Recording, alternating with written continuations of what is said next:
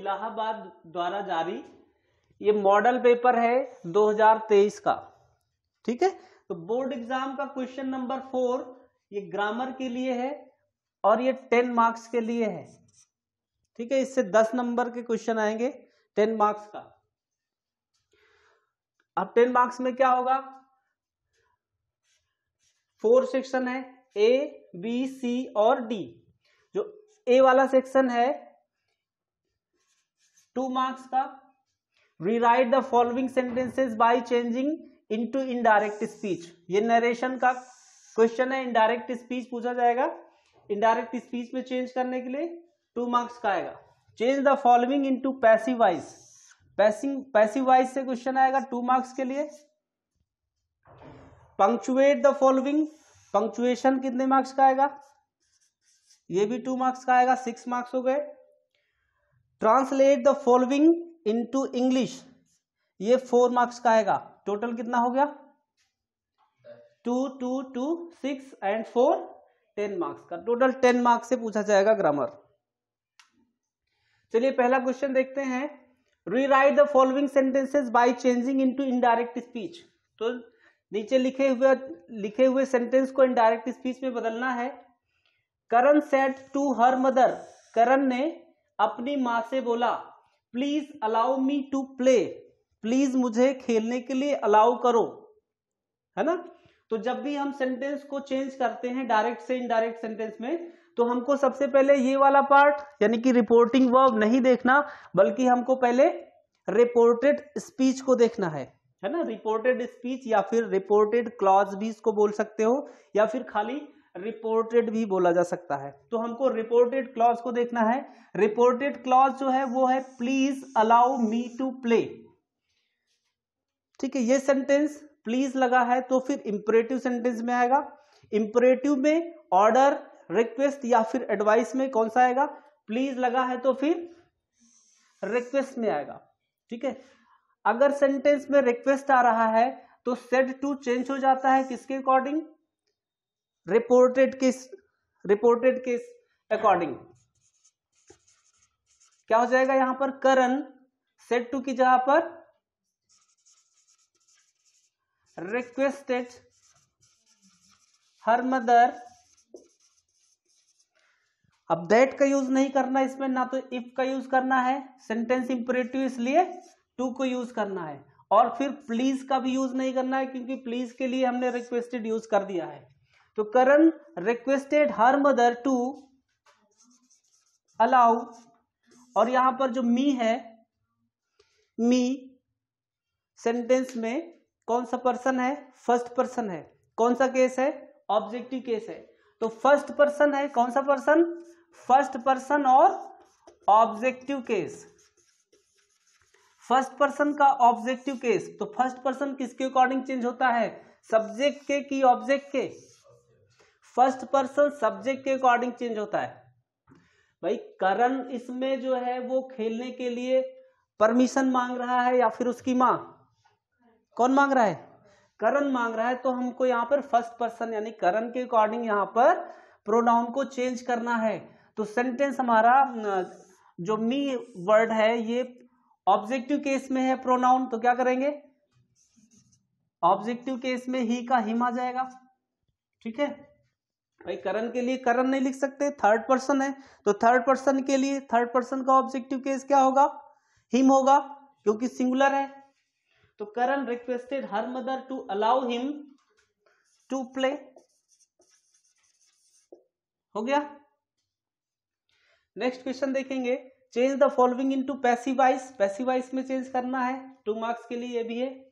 Passivise में कैसे change करते हैं? सब्जेक्ट को हम ऑब्जेक्ट की जहाँ पर प्लेस करते हैं और ऑब्जेक्ट को सब्जेक्ट की जहाँ पर प्लेस करते हैं, वर्ब वैसे ही रहती है। तो यू को हमको पहले ले आना है, यहाँ पर क्या हो जाएगा? यू और सेंटेंस, किस टेंस का है? प्रेजेंट इंडिफिनिट का है तो इज़ एम आर का यूज़ करना है। यू तो इज़ लगेगा कि एम लगेगा कि आर, कौन सा लगेगा? यू के लिए हमको आर का यूज़ करना है, ठीक है? तो यू आर नो का थर्ड फॉर्म क्या होता है? नॉन, और नॉन के बाद में फिर बाई नहीं लगता। ठीक है? You are known very well adverb भी लगा दो। You are known very well to I का ऑब्जेक्ट क्या हो जाएगा? मी। ठीक है? पैसिवाइज क्या हो गया? You are known very well to me आगे समझ में? तो कुछ ऐसी वर्ब्स होती हैं जहाँ जो बाई नहीं लेती, ठीक है? यहाँ पर जैसे नो है तो नो के लिए क्या यूज़ हो गया? टू है ना? प्लीज़ के लिए क्या लगता है? प्लीज़ के लिए? विथ है? और कुछ वर्ड्स हैं, और कुछ ऐसी वर्ब्स हैं? अपॉइंटेड के लिए?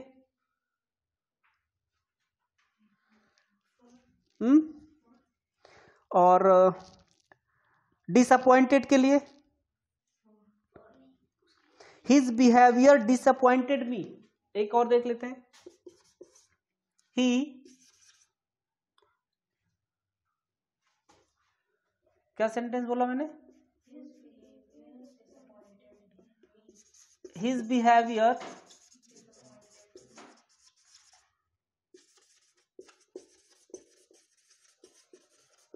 डिसअपॉइंटेड मी तो ऑब्जेक्ट को पहले ले आएँगे यहाँ पर क्या हो जाएगा?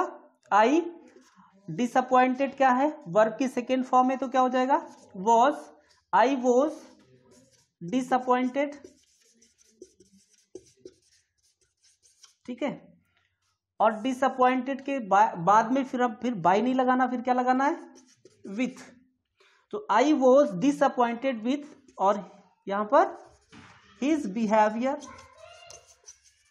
क्या हो गया? I was disappointed with his behaviour तो कुछ ऐसी पार्टिकुलर वर्ब्स होती हैं जिनके जिनके बाद में बाई नहीं लगाना, है ना? तो उसके बाद में क्या लग सकता है? टू लग सकता है विथ लग सकता है एट लग सकता है। नेक्स्ट सेंटेंस देखिए पंक्चुएट द फॉलोइंग क्या करना है? पंक्चुएट करना है। पंक्चुएशन यूज़ करना है। तो सबसे पहले तो ये है कि जो सेंटेंस का स्टार्टिंग लेटर होता है, वो कैपिटल होगा। तो the gardener the gardener said to me ये फ़र्स्ट क्लॉज में है तो फिर कॉमा लग जाएगा और जो नेक्स्ट सेकेंड क्लॉज है वो इन्वर्टेड कॉमा के अंदर आएगा। Do not touch the flowers फिर यहाँ पर फुल स्टॉप रखेंगे क्योंकि ये जो है रिपोर्टेड जो क्लॉज है ये किसमें है? इंपरेटिव में तो इंपरेटिव में फुल स्टॉप होता है, फुल स्टॉप के बाद में डबल इन्वर्टेड कॉमा क्लोज हो जाएगा।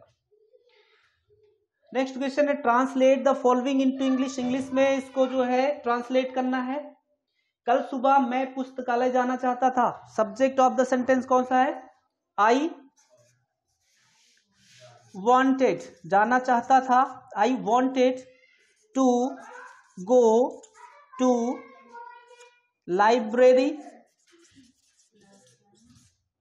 कल सुबह yesterday yesterday in the morning ठीक है भाई? I wanted to go to library yesterday in the morning उसी समय एट दैट टाइम उसी समय एट दैट टाइम एक मित्र मुझसे मिलने आया। एक मित्र वन ऑफ़ एक मित्र, मेरा एक मित्र one of my friends okay one of my friend यानी कई सारे दोस्तों में एक दोस्त वन ऑफ़ मेरा एक दोस्त, मुझसे मिलने आया केम टू मीट मी हम शाम तक साथ रहे। वी लिव्ड टूगेदर शाम तक अनटिल या टिल टिल शाम तक टिल इवनिंग ठीक है? We live together till evening मित्र से मिलकर मैं खुश था। I was happy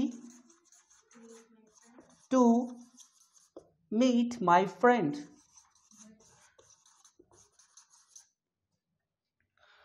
किंतु पुस्तकालय ना जा पाने के कारण दुखी भी हुआ। But I was unhappy